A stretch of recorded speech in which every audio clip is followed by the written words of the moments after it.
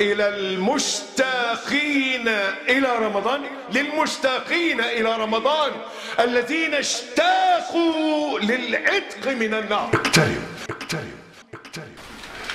إن الحمد لله. أحمده تعالى وأستعينه وأستغفره وأعوذ بالله تعالى من شرور أنفسنا ومن سيئات أعمالنا. من يهده الله فلا مضل له ومن يضلل فلا هادي له وأشهد أن لا إله إلا الله وحده لا شريك له وأشهد أن محمدا عبده ورسوله. اللهم صل على محمد وعلى آل محمد كما صليت على إبراهيم وعلى آل إبراهيم إنك حميد مجيد. اللهم بارك على محمد وعلى آل محمد كما باركت على إبراهيم وعلى آل إبراهيم إنك حميد مجيد. يا أيها الذين آمنوا اتقوا الله حق تقاته ولا تموتن إلا وأنتم مسلمون. يا أيها الناس اتقوا ربكم الذي خلقكم من نفس واحدة وخلق منها زوجها وبث منهما رجالا كثيرا ونساء. واتقوا الله الذي تساءلون به والأرحام. إن الله كان عليكم رقيبا. يا أيها الذين آمنوا اتقوا الله وقولوا قولا سديدا. يصلح لكم أعمالكم ويغفر لكم ذنوبكم. ومن يطع الله ورسوله فقد فاز فوزا عظيما. أما بعد فإن أصدق الحديث كلام الله تعالى وخير الهدي هدي محمد. صلى الله عليه وسلم صلى الله عليه وعلى آله وصحبه وسلم. وإن شر الأمور محدثاتها وكل محدثة بدعة وكل بدعة ضلالة. وكل ضلالة في النار. ثم أما بعد فإخوتي في الله والذي فلق الحبة وبرأ النسمة إني أحبكم في الله. وأسأل الله جل جلاله أن يجمعنا بهذا الحب في ظل عرشه يوم لا ظل إلا ظله. اللهم اجعل عملنا كله صالحا واجعله لوجهك خالصا ولا تجعل فيه لأحد غيرك شيئا. أحبتي في الله كيف حالكم؟ مع الله. وكيف حال قلوبكم مع الله؟ اللهم أصلح قلوبنا. اللهم أهد قلوبنا. اللهم أحيي قلوبنا. اللهم اسق قلوبنا. اللهم طهر قلوبنا. اللهم نور قلوبنا. اللهم اغسل قلوبنا. اللهم نق قلوبنا. اللهم حبب إلينا الإيمان وزينه في قلوبنا. اللهم ثبت على الإيمان قلوبنا. إخوتي أنا أحبكم في الله. هنا المدرسة الربانية. وهذا وهذه دورة الاستعداد لرمضان 1441 وهذه هي الحلقة الحادية عشرة. بعد عشر حلقات أردنا أن نجعلها كالمقدمات كالتأسيس. فاتت فيها عشرات كثيرة وأردنا أن نعمل لمن يريد العمل ويبدأ أول خطوة. أول خطوة البداية الحقيقية. ثم ننتقل اليوم إلى المرحلة الثانية. ننتقل من ابتداء من هذه الحلقة إلى مرحلة جديدة وهي مرحلة التأسيس. أردنا ابتداء من الحلقة الحادية عشرة أن نؤسس التأسيس. والتأسيس دوما يكون على أربعة أركان. أي قضية تؤسس أو أي بناء يؤسس يقام يراد له أن يرفع لابد أن يؤسس على أربعة أركان. أربعة أركان. لذلك سنؤسس على أربعة أركان. التفهيم اثنين التعويد ثلاثة التدرج أربعة المتابعة. التفهيم تلكم هي البداية. الفهم. صليت على الرسول صلى الله عليه وسلم. هذه الأساسات الأربعة التفهيم التعويد التدرج المتابعة هذه الأساس الذي نريد أن نبني عليه إيمانك. القضية كانت في أنك منذ شوال الفائت وأنت تعك منذ شوال الفائت وأنت تبتعد عن الله. منذ شوال الفائت عشنا سنة معاناة كبيرة من الهموم والأحزان والمشاكل والغفلة و سنة سنة عجيبة جدا في عمر الأمة. شاهد سنة عجيبة في عمرك في عملك في قضية حقيقية أنك تبتعد وتجتهد أن تبتعد ثم تحاول أن ترجع وتضعف أن ترجع. وإن رجعت رجعت وليس بحماسك الأول. نريد الآن أن نؤسس نضع أساس. هذا الأساس حين يوضع في قلبك يكتفك يثبتك يحفظك يدفع عنك ربنا يدفع به عنك. هذا الأساس لأن القضية الإشكال الكبير أن كثيرا منا مضى على غير أساس. نرجع تاني ونقول أن سيدنا النبي صلى الله عليه وآله وصحبه وسلم حين أسس أصحابه أساسا متينا. نقول القصة تاني قبل موت النبي صلى الله عليه وسلم بثلاث وستين سنة. أرسل هرقل يأمر عملاءه في الحبشة أن يأمروا عملاءهم في اليمن أن يهدموا الكعبة. وسار الأمر بهذا المسار كله وخرج أبرهة من الحبشة بفيله الأبيض الضخم يطأ بلاد العرب ووهادها وشعوبها وبلادها. لا يصده صد ولا يرده رد حتى وصل إلى منى على بعد ميلين من الكعبة. واستجمعت قريش كل قواها. لتفر إلى رؤوس الجبال. إلا رجلا واحدا. وقف أمام أبرهة بكل شجاعة يقول إبلي إبلي أعطوني إبلي أنا رب الإبل وللبيت رب يحمي. حتى هذا الرجل الذي يفتخر يفتخر به باع بيت الله وبكى على إبله. بعد هذه الحادثة بسبعين سنة انتفضت مكة برجال لا ليفتحوا الحبشة ولا ليفتحوا اليمن فاليمن فتحت بكتاب وإنما ليقوضوا ملك القيصر ذاته. ليخرج رجل من هؤلاء ليقف أمام القيصر فيقول الله ابتعثنا لنخرج من شاء من عبادة العباد إلى عبادة رب العباد ومن ضيق الدنيا إلى سعة الدنيا والآخرة ومن جور الأديان إلى عدل الإسلام. السؤال ما الذي تغير؟ هل اكتشف العرب سلاحا جديدا؟ هل دخل العرب في حلف جديد؟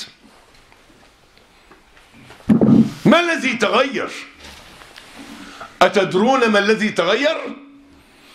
لقد مات ذاك الإنسان الجاهلي وولد هذا الرجل المسلم. مات الذي كان يقول إبلي وجاء الذي يقول ديني. ديني ديني ديني. لقد كانت وظيفة النبي محمد صلى الله عليه وسلم أن يصنع رجالا لا أن يدبج خطبا. أن يصوغ ضمائر لا أن يكتب كلمات. صلى الله عليه وسلم. لذلك صنع رجالا. كانت القضية بتقدير الملك جل جلاله سبحانه. أن الناس كانوا يسلمون وحدانا رجلا بعد رجل. يقول أبو ذر أبو ذر ربع الإسلام. أسلمت وكنت رابعة أربعة. فكان الرجل من هؤلاء يسلم واحد واحد. فيمسكه رسول الله. صلى الله عليه وسلم. فيهد جاهليته.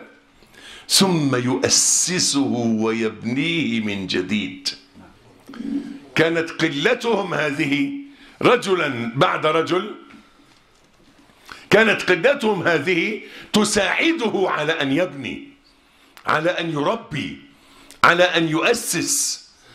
رجل فرجل.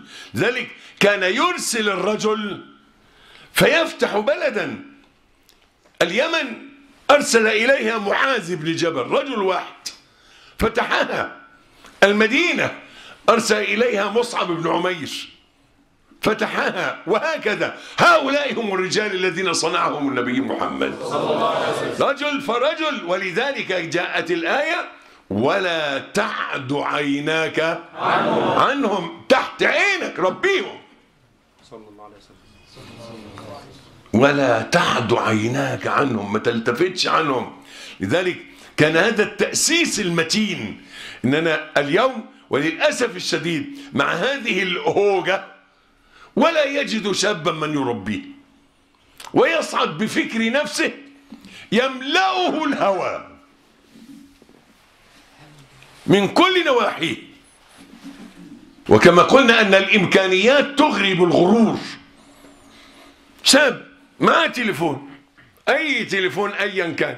بثلاث تعريفة عليه باقة بثلاث تعريفة ويكتب أي كلمة أي مسألة في الدين. ويجي له عشرات الأجوبة وعشرات الآراء. ويقرأ ويختار بدماغه. وهو لا يفهم شيئا في الدين. وهو لا يفهم شيئا في الدين. لذلك لم ي... هذا الذي لم يؤسس حصل هذا الضياع. أن نرى شابا صاحب لحية بل وقد يكون صاحب دعوة ثم يرتكب ذنوبا يأنف منها الفساق. سبب هذا أناس لم يربوا لم يؤسسوا لم يعلموا دينا. انظر إلى قول النبي محمد صلى الله عليه وسلم نزلت الأمانة في جذر قلوب الرجال ثم علموا من القرآن وعلموا من السنة. قال لقد عشنا برهة من الدهر. يؤتى أحدنا الإيمان قبل القرآن. يؤتى أحدنا الإيمان قبل القرآن ثم تعلمنا القرآن فازددنا إيمانا. نزلت الأمانة في جذر في أصل أصول جذر قلبك. في جذر قلوب الرجال ثم علموا. مش أول شيء يهجم. على المسائل وعلى الفتاوى وعلى الآراء وعلى الكلام وعلى المناقشات. تربى أولا. تربى وتأسس. إننا نريد أن نسير سيرا كسير النبي صلى الله عليه وسلم بأصحابه. لقد كانت البداية يا أيها المزمل قم الليل. وكما قالت السيدة عائشة في حديثها أن الله عز وجل أنزل صدر هذه السورة واحتبس آخرها سنة. وفي رواية سنتين. واحتبس آخرها سنتين. وفي في رواية سنة اللي في البخاري سنة. فقام رسول الله صلي عليه. قام رسول الله وأصحابه. قم الليلة ها؟ إلا قليلا. نصفه أو انقص منه قليلا أو زيد عليه أمامك نصف الليل إلا قليلا أو زد حتى يكون إلا قليلا. قام رسول الله وأصحابه حتى تورمت سوقهم فصارت كجذوع النخل. بقت رجليهم ورمة بني في أسود من التورم وال قام رسول الله حتى تورمت قدماه وقام معه أصحابه. كانت تلك البداية. هذه هي البداية. الإيمان علم الإيمان. هذا هو التأسيس الصحيح. يا أيها المدثر قم فأنذر وربك فكبر وثيابك فطهر والرجز فاجر ولا تمنن ولا تمنن تستكثر. الفهم للدين كان البداية. الفهم. التفهيم أنا لا أقصد. لا أقصد بالتفهيم التعليم والتلقين. مش معناها إن أنا أقول لك حاجة والقنك يبقى انت اتعلمتها كده. لا لا لا الفهم. لم يكن عمل رسول الله صلى الله عليه وعلى آله وصحبه وسلم أنه سار وقال لأصحابه غمضوا أعينكم وسيروا خلفي. وإنما علمهم أن يتبعوه بإحسان. إحسان الاتباع. مش القضية امسك ديلي وامشي ورايا لا لا لا لا. افهم أنا ماشي إزاي وامشي. وامشي.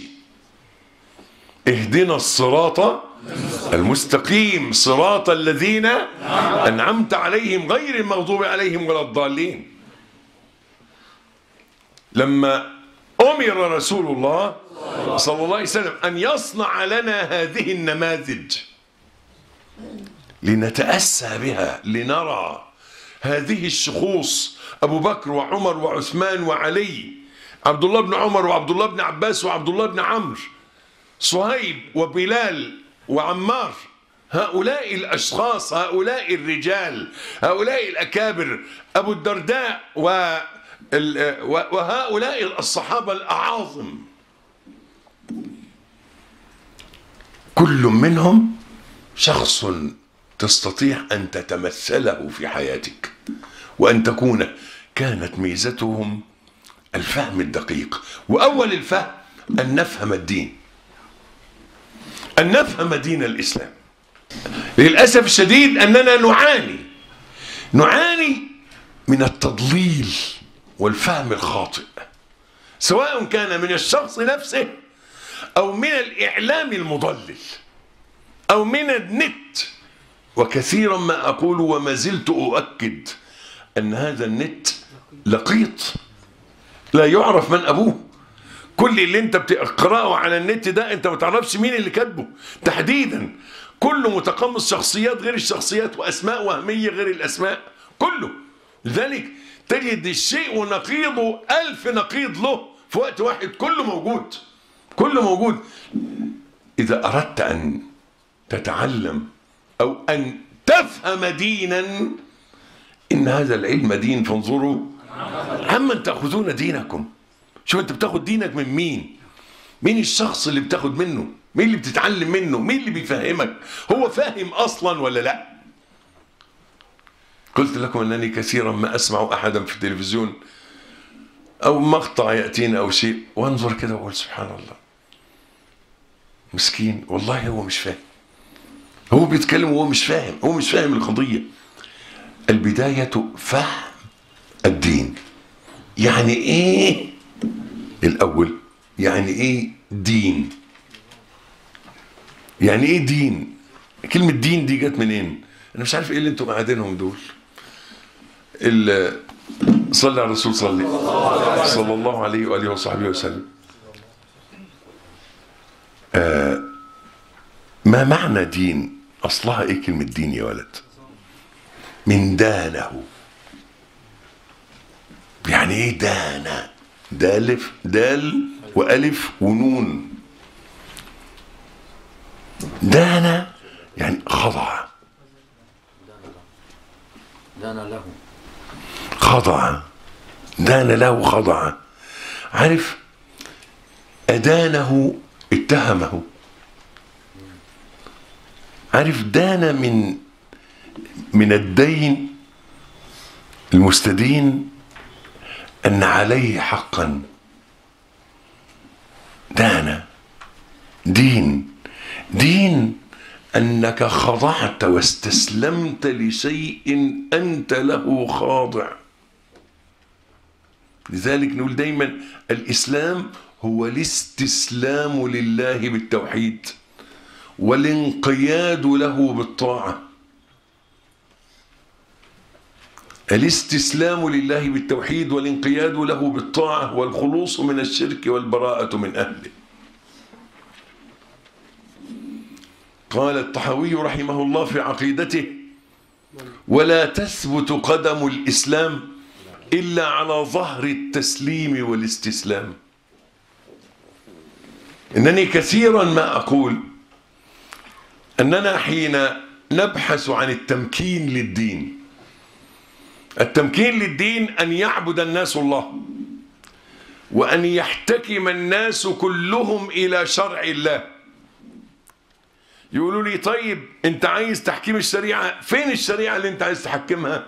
ما عنديش أنا قوانين ونصوص أقول لك هي دي. لا ده أنت لما الأول تدين لله بدين الإسلام والعبودية له. حين تدين بهذه الشريعة؟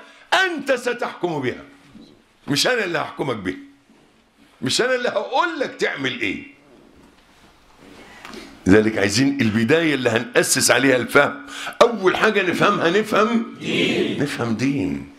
تعالوا نفهم دين. أحبكم في الله والسلام عليكم ورحمة الله. إلى المشتاقين إلى رمضان للمشتاقين إلى رمضان الذين اشتاقوا للعتق من النار. اقترب اقترب.